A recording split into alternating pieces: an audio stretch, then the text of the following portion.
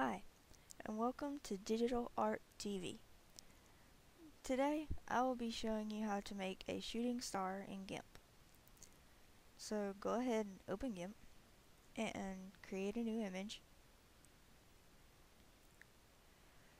For this, your width needs to be longer than your height.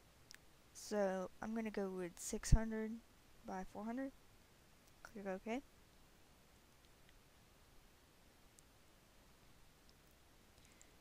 And the first thing you need to do is take your bucket fill tool and have it set on black and fill in this background layer with black.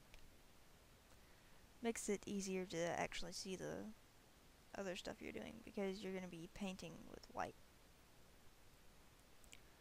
So create a new layer and change your color white and get your paintbrush tool and you're going to want to set it on the biggest um, fuzzy brush fuzzy brush that comes with GIMP and set the scale to about 4 should be good. That way it's big but it's not like you know huge.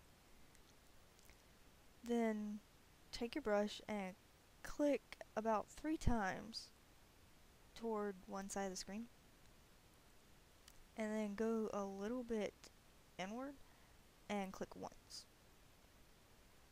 Hmm, maybe a little further than that. Yeah. So you wind up with this kind of shape right here.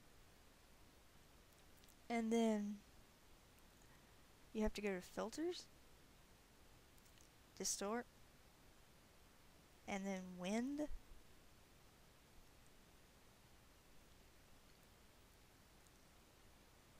And you're going to want to set your threshold down to zero and your strength to about 20 or 30 um, I like to leave it around 20 sometimes because it, you get a little more streaks in here and that makes it look a little bit more realistic. Doesn't really make much that big of a difference, but it just looks better to me to have a little bit of the streaks in it. Like that. And that's pretty much your shooting star. All you have to do now is rotate it a little or add a starry background. Like so. And yeah there you have it. Thank you for watching and remember to subscribe and comment. Thanks